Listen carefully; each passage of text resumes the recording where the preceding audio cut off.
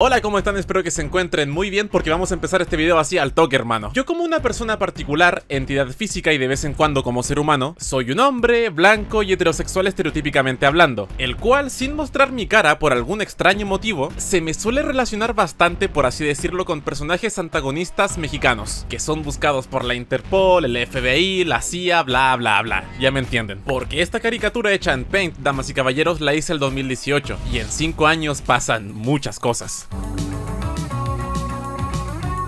Y para que tengan un ejemplo de lo que les digo, si hay una persona que está acostumbrado acá a los controles de identidad y que los guardias literalmente lo sigan a uno en el supermercado, pues ese soy yo. Probablemente la persona más inofensiva del barrio en donde vivo hasta hace un par de días atrás. ¿Por qué? Y acá les explico más profundamente. El otro día íbamos caminando a una plaza de noche junto a un muy buen amigo y de repente me percato que se nos acerca un auto con las luces apagadas. Y yo como no así de forma cargante sino por ser un buen ciudadano, le hice un gesto técnico para que encendiera las luces, porque eso a todos nos puede pasar. Y porque hablando en serio puede provocar un accidente y mejor prevenir que lamentar. Además que es una falta grave, por lo tanto es multable y la gracia sale entre 60 y 90 lucas o sea algo equivalente como a un estanque y tres cuartos. Pero entonces ya, yo hago el gesto técnico y cuando ya el auto pasa cerca de nosotros vemos que lo van manejando dos chiquillas. Y nos miran con una cara de odio y desprecio que solamente puede ser igualada a comer pomelo con limón y sal. Y mi amigo y yo nos quedamos pensando así como, ¿por qué nos miraron así de feo? Si de verdad tenía la mejor intención del mundo en avisarles que iban con las luces apagadas. Y después así razonando un poco dentro del recipiente,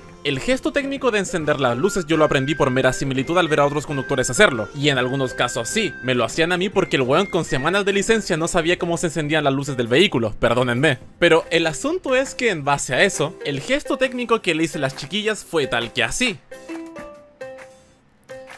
Cuando obviamente puede ser malinterpretado un poco como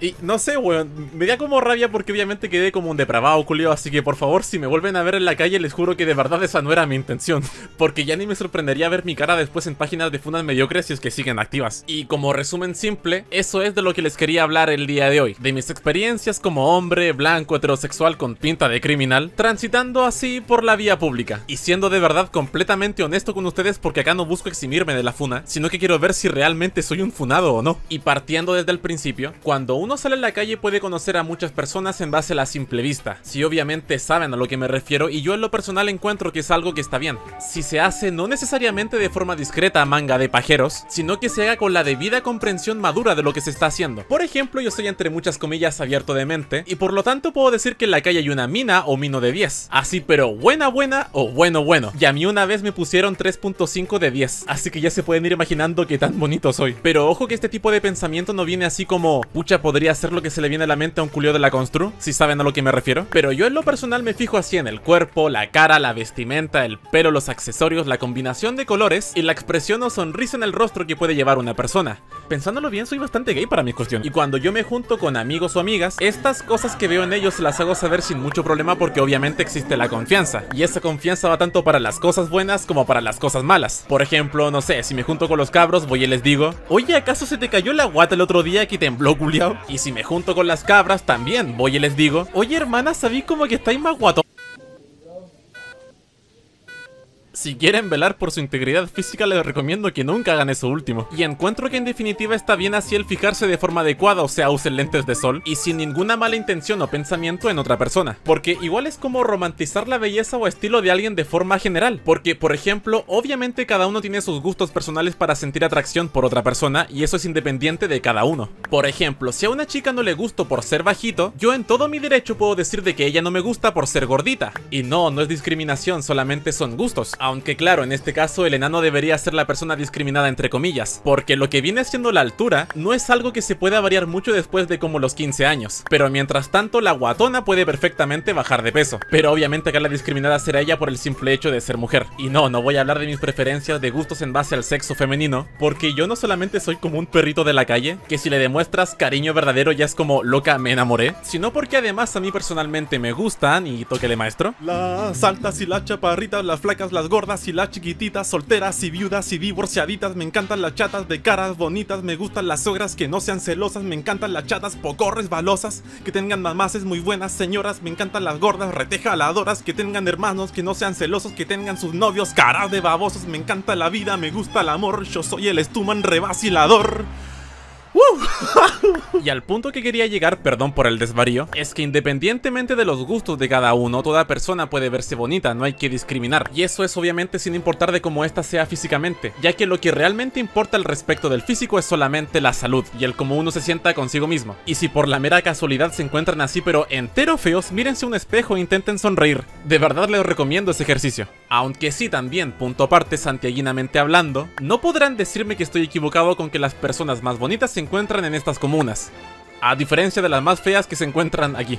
Porque díganme lo que quieran, pero saben que es verdad, porque los moles como, no sé, el Plaza Maipú vemos a esta gente. Mientras tanto, en el Alto Las Condes vemos a esta otra. Pero ya así dejando las tallas y regresando al terreno, yo soy una persona un poco alta así a veces, porque claro he visto personas mucho más altas que yo. Pero para darles un ejemplo voy a colocar una imagen al lado de familiares con estaturas promedio para que se hagan una idea. Pero como comprenderán, y esto lo confirmé por unas amigas que tengo, Rocío Maranta, me rompieron mi corazón, muchas gracias, de que yo soy una persona que quizá algunas veces puede parecer intimidante y más aún con la cara de culo con la que ando siempre. Lo cual, como entenderán, significa de que se me hace muy incómodo ir caminando detrás de mujeres, porque culiao siempre como que van mirando de vez en cuando para atrás pensando que las estoy siguiendo. Y en lo que a mí respecta está bien porque eh, Santiago cosas, pero de verdad así me siento muy mal cuando esto pasa. Hasta tal punto de que no sé, tomo mi celular y hago como que hablo con alguien de forma simpática para darle a conocer de que no la estoy siguiendo. Además del clásico cambiarse de vereda o simplemente frenar. Porque igual yo soy bastante pragmático así cuando ando por la calle. Porque por ejemplo, si quiero ir a una tienda y por la estupidez del momento me la paso de largo, no puedo simplemente, o sea, soy incapaz de darme la media vuelta y ir a la tienda. A sabienda de que todos a mi alrededor mío se dieron cuenta de lo pelotudo que fui al pasármela de largo. Por lo que sí, me doy la vuelta a la cuadra entera para entrar a la tienda y no perder mi honra por el camino. Pero así hablando de la honra, hay unas personas que de verdad son lo más simpáticas del mundo en lo que encontrarse por la calle se refiere, y esas son las abuelitas, que te preguntan hacia una dirección que no has escuchado en tu vida y tú se las muestras en el celular. Porque sí, estamos en el 2023. Ahora cuando te preguntan una dirección no puedes quedarte como inculto. Y el tema es que una vez cerca de mi casa yo llegando del colegio un día viernes, había una abuelita que andaba con un carro de la feria con las ruedas rotas y con mucha gente alrededor así, espectadores o NPCs. Por lo que, y lo admito para hacerme solamente el héroe, le dije a la abuelita, ¿sabe qué? Yo la ayudo. Así que tomé el carro de la feria con los dos brazos y quedé tipo porque fuera de hueveo era una de las cosas más pesadas que he llevado en mi vida. Pero como ya la gente me estaba mirando, simplemente tuve que acompañar a la abuela a su casa. Y no fue mucho, solamente fueron cuatro cuadras y media, pero yo quedé mal así. Yo ese día tenía carrete y recuerdo que no pude ir porque simplemente los brazos no. No, no, no, no, no, no querían. Porque en comparación y masculinamente hablando, prefiero mucho más el ayudar a un extraño a empujar su auto a que arranque. Y ya para terminar, hace demasiado calor, voy a relatar otras experiencias de Casifuna que sorprendentemente me ocurrieron hace bastante poco, y en gran parte fueron la motivación mía para hacer este video. Así que, en resumen, yo soy una persona muy pacífica, muy tranquila, no busco pelear con nadie, pero a veces se me salen mis comentarios. Y eso es algo que de verdad no puedo evitar. Y esto ocurrió el domingo pasado, si no me equivoco. Yo iba caminando tranquilamente por mi villa y de repente vi algo en la pared que me pareció interesante. Era como un cartel de una publicidad de una bebida extraña. Y como me llamó la atención me volteé a mirarlo así un rato para saber efectivamente qué es lo que era sin percatarme de que justamente al lado mío habían pasado dos chiquillas que iban en dirección contraria a la mía y se voltearon justo. Quizá para saber si yo fuese una persona sucia pensando que me había volteado para verles el culo. Y yo como hueonao estaba mirando el cartel, pero en un ángulo en el que quizás se podía dar a entender lo otro. Y el tema es que una de estas chiquillas me dice de la forma más intelectual posible, disculpe persona defenestrada, ¿de casualidad usted me está mirando el trasero? A lo que yo obviamente le respondí con la verdad. No estimada, me había volteado a mirar este cartel. Y antes de que ellas creo que iban a pedirme disculpas porque no me dijeron defenestrado, me dijeron sucio culiado, por lo que yo me las quedé mirando y continué. No, me había volteado a mirar este cartel, porque no soy de planicies litorales, la verdad. Y ojo que por lo menos esa vez salió bien, ya que otra vez donde me pasó algo de este estilo estaba en un supermercado. Exactamente en la fila detrás de una señora como de cuarta edad que estaba haciendo escándalo con la cajera. Por lo que ya pasados los varios minutos yo le digo a la señora así simpáticamente, ¿sabe qué? Demórese todo lo que quiera señora porque yo tengo todo el tiempo del mundo. Mientras tanto que yo a usted le doy eh, un par de meses siquiera. Un guardia me escuchó y me echaron del supermercado. no me arrepiento de nada. Y eso vendría a ser todo por el día de hoy. Muchas gracias por su apoyo porque últimamente, no sé, me he sentido más agraciado haciendo contenido. Ahora estoy haciendo un video de esos grandes, que ya les contaré como de qué trata por Instagram, el haces en la descripción, donde, ojo, veré si es que puedo traer a otro creador de contenido para así evitar sentirme un poco solo a lo que contactos del medio respecta. Así que eso, de verdad, muchas gracias por su preferencia y nos vemos lo más pronto posible.